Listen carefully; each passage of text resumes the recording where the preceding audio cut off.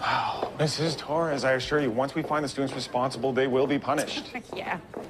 I know, with the same severity as the boys who hazed my son, right? Degrassi's on our school board's watch list.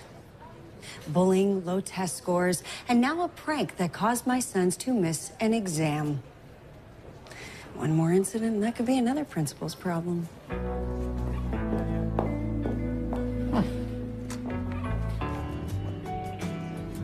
Hiding from the popo? I was just looking for a book. Saving the world one stink bomb at a time.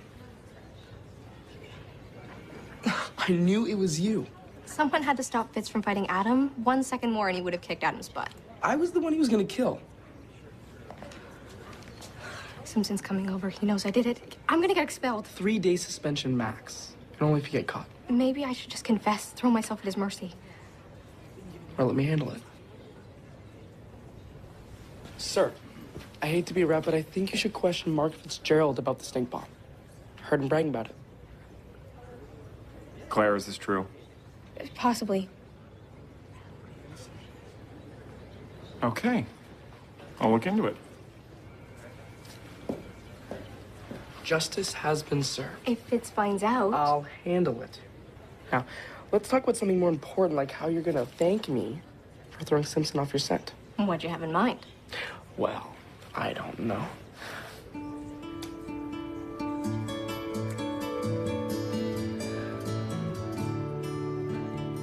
I have a French exam. I think you just passed it.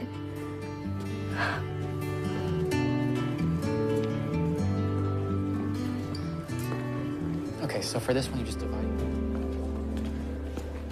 How was your French exam? Way too long. Does this mean I have a date to Vegas night? Depends. Do we get a corsage? Just spent an hour in Simpson's office. Someone told him I set off the stink bomb. Me and my loose lips. Not so lippy now, are you? What's a guy gotta do to get you out of his grill?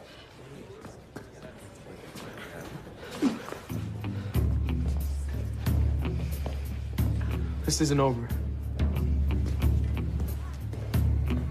Dude's a menace. Someone needs to teach him a lesson.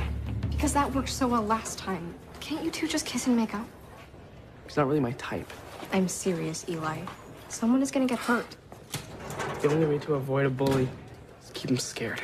Or you could lay low with your girlfriend. Twist my rubber arm. Girlfriend.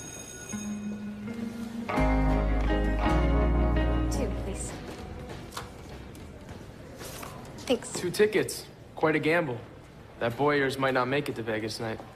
Hurting Eli won't solve anything. Dude set me up. Because he was trying to protect me. I set off that diversion to stop you from fighting Adam.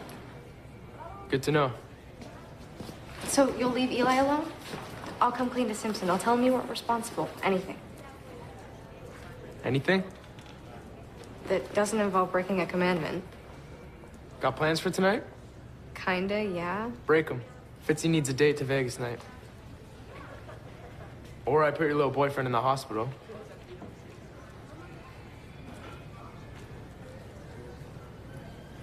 If I go with you, you'll leave Eli and Adam alone. As long as they stay out of my face. Take it or leave it.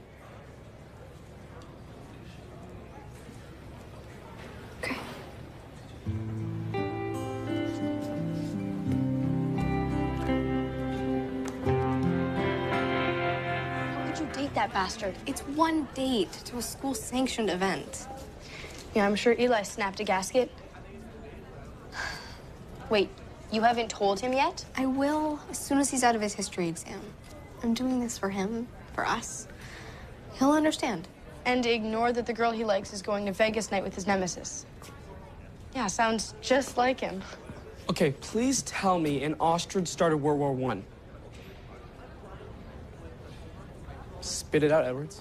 Well, you know, it, it, it- it's funny that you should you should mention World War One because, well, many say that the the, the revenge and uh, enacted by the League of Nations on Germany post-war was responsible for the outbreak of World War Two.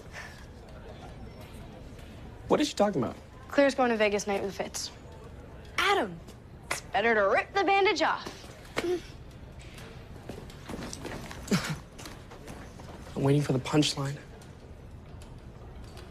Fitz promised to leave you alone if I went to Vegas night with him. And you said yes. I want this stupid feud to be over. And if I go with Fitz tonight, I think I can make that happen. I suppose crazier things have happened. So you're not mad? Just a little bit. Good. I have an hour before I meet Alli. Coffee? Rain check? Sure.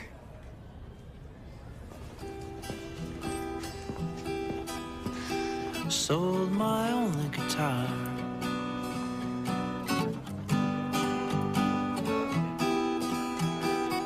Put all my money into a broken car. You're a big man, Fitzy. Using Claire to get back at me? Girl came to me, man. I guess she's looking for a boyfriend who wears less eye makeup than she does. You heard her? And you're what, tough guy?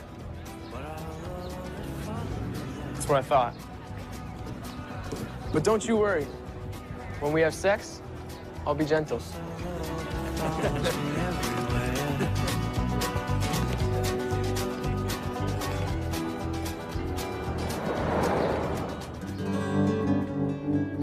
It's Ipecac. Makes people barf. Most guys just buy flowers.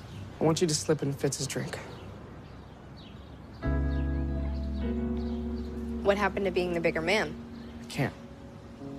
Not anymore. Because? Don't be naive. Fitz is a bad guy. He wants to have sex with you. Oh, then you're right. The appropriate response is to poison him. I told you. This is how you control bullies. Keep them scared. Do you know who also uses those tactics? Terrorists. I don't understand. Whose side are you on? I'm not sure. But I know it's not the side that poisons people.